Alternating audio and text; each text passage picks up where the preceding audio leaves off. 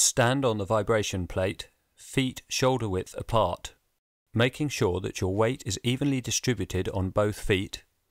Hold the bars and with your back slightly leant forward, squat to the required depth.